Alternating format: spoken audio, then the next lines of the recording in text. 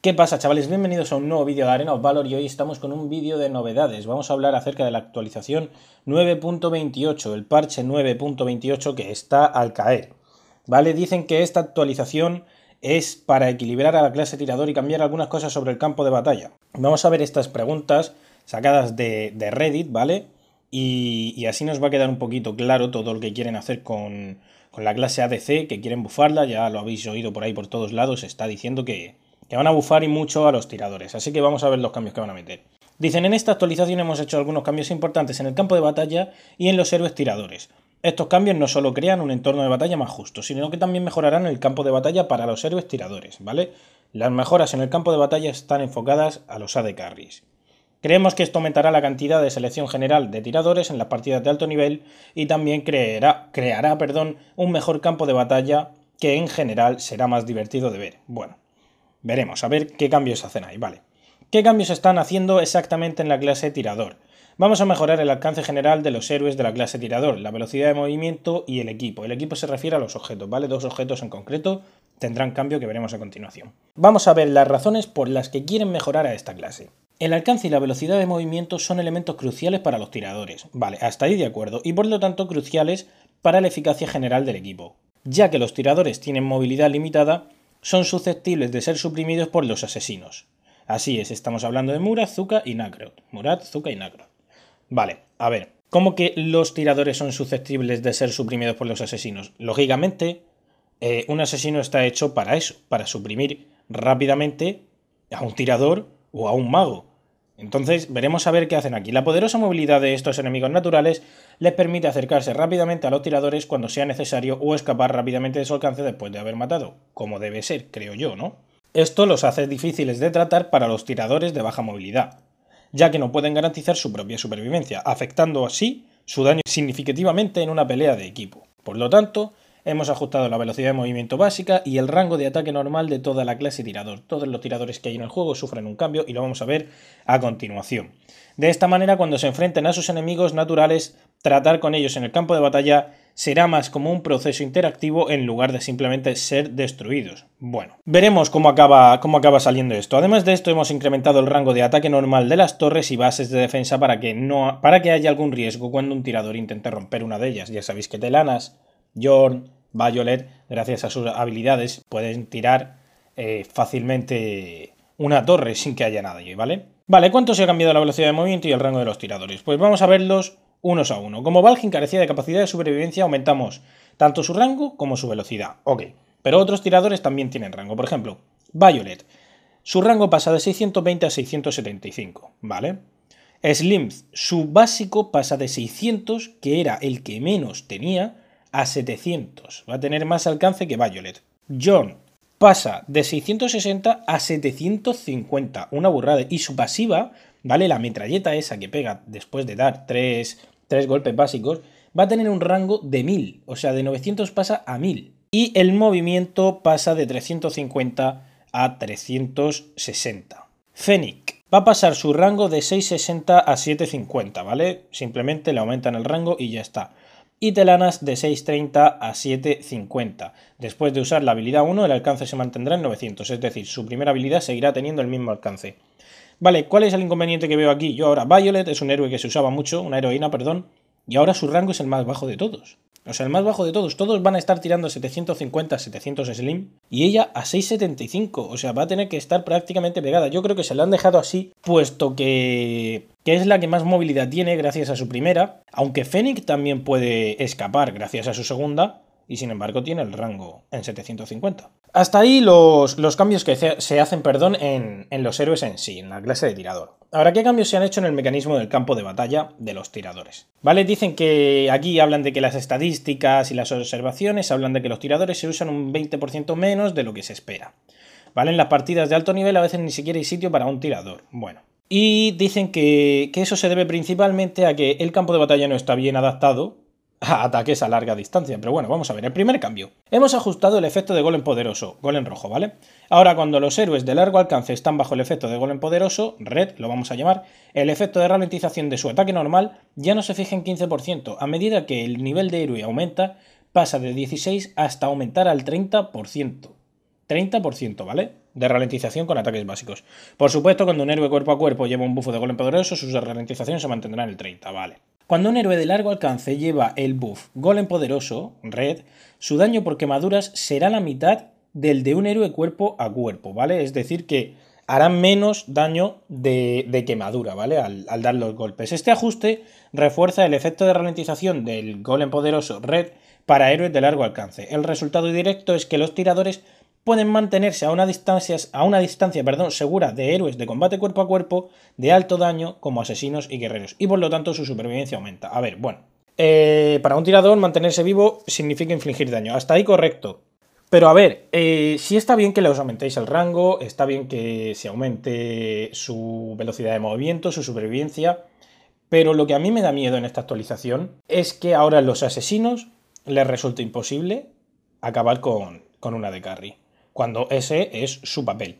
Entrar en la teamfight, matar a la de carry, salir y prepararse para volver a entrar, matar, salir, entrar, matar. Si ahora no van a poder hacer eso los asesinos, pues van a tener que meterles un bufo después o, rebajar lo que le han hecho a los tiradores. Ya lo veremos, ya lo veremos cómo sale. Segundo cambio. Ahora las torres y bases de defensa infligirán un efecto de ralentización del 30% en los objetivos durante un segundo con sus ataques. Es decir, cuando tú te metes bajo una torre y la torre te pegue, te va a ralentizar un 30% durante un segundo. O sea que no solo te va a hacer un daño que flipa, sino que encima te va a dejar vendido porque te va a ralentizar. Y ya sabéis que las torres disparan muy rápido. Entonces es ralentizado, ralentizado, ralentizado. Os vais a, os vais a enterar lo que va a ser eso. Esto significa que los héroes cuerpo a cuerpo ahora corren un mayor riesgo cuando atacan torres. Está bien eso. Este cambio también aumenta la ventaja de supervivencia de los héroes de largo alcance cuando atacan torres. Aquellos que deseen matar la torre rápidamente deben asumir un mayor riesgo también, y por lo tanto están más inclinados a dejar a los tiradores, a dejar que los tiradores se ocupen de ella. Bueno, puede estar bien, ¿vale? Pero, ¿qué significa esto? Vale, pues han aumentado el, alcance de las torres y, la vida, han dicho por ahí. Y esto significa que, que, bueno, que las partidas van a durar más, lógicamente. Más difícil tirar torres, se tarda más en tirar, entonces las partidas ya no serán 19-20 minutos, igual nos estamos hablando ya de una media hora o cosas así, en plan, en plan LOL, ¿vale? Ya nos iríamos a partidas como en League of Legends quizá, habrá que verlo. Torre de defensa, ¿vale? Son las torres que están en el carril.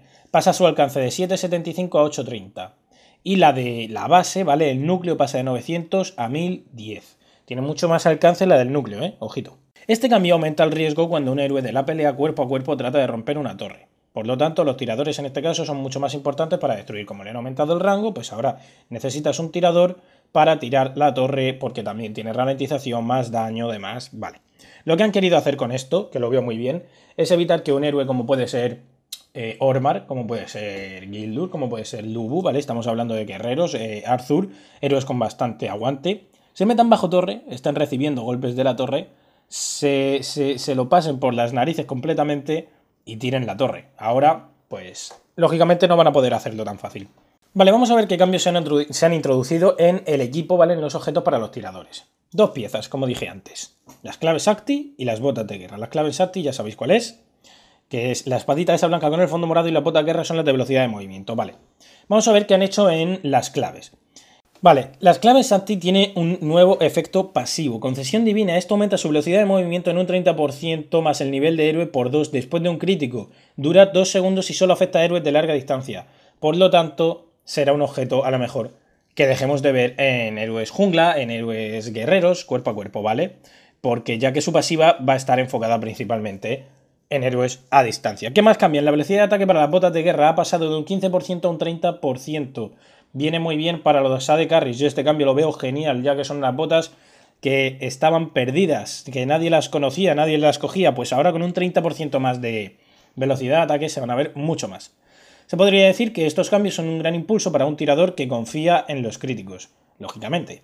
El aumento de la probabilidad de ataques críticos no solo aumentará el daño global, sino también la supervivencia, ya que te da muchísima velocidad de movimiento durante esos dos segundos. Vale, más cosas. Además de lo anterior, esta actualización también incluye ajustes en el dragón abisal, ¿vale? En el dragón abisal. ¿Por qué? Porque el dragón abisal es un importante punto de conflicto en el campo de batalla, debido a los recursos que proporciona, ¿vale? Esa experiencia y ese oro. Eh, innumerables y emocionantes batallas se han desplegado alrededor del dragón abisal, sí. Sin embargo, las estadísticas recientes han revelado que el grado de importancia ha superado nuestras expectativas. El primer equipo que consigue el dragón tiene un alto porcentaje de probabilidad de ganar en base a los datos. Cierto. Vale. Eh, paréntesis, sabéis que cuando sale el dragón y vosotros estáis a nivel 4, vais directos, lo hacéis y lo conseguís hacer a nivel 4, sube a todo el equipo dos niveles. O sea, paséis de nivel 4 a nivel 6 del tirón. Ya le estáis sacando dos niveles y X cantidad más de oro al equipo contrario en, en, el minuto 5, digamos. Y, eso es una burrada. Es una burrada. Y además que el dragón abisal no tiene mucho daño y, ni mucha vida. Es que se lo hace un héroe prácticamente el solo. Vamos a seguir. Por supuesto, esto afecta a la experiencia normal del juego del jugador, lógicamente, por lo que he comentado antes. Aunque esperamos que el dragón abisal siga siendo un recurso importante y esperamos que las batallas en torno al dragón continúen, todavía queremos mantener un entorno justo y mantener el espíritu de competición.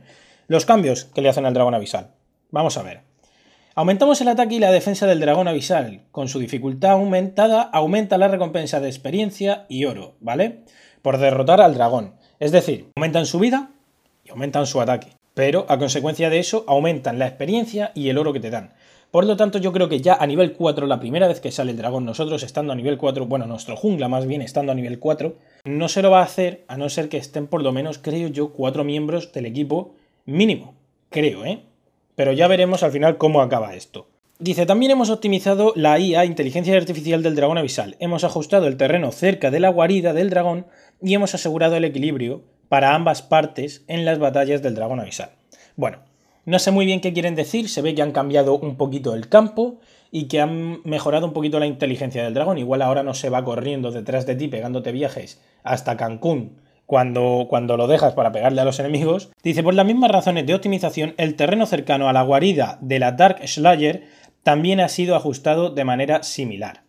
El Dark Slayer, para lo que no lo sepáis, es el masacrador, ¿vale? Volvemos a hablar de las torres, ¿vale? Dice, esta vez hemos ajustado las torres de defensa fuera del camino del Dark Slayer. Las torres de defensa fuera del camino, pues imagino que si el Dark está arriba, el masacrador está arriba, pues serán las torres que, que no estén en el centro. Ok, imagino que serán las siguientes a, a las del centro. No lo sé a qué, se, a qué se refieren con esto muy bien. Dice, para que tengan un efecto llamado escudo fuerte para reemplazar el anterior efecto, bloqueo fijo. El escudo fuerte reduce el daño recibido por la torre un 60% y dura 3 minutos.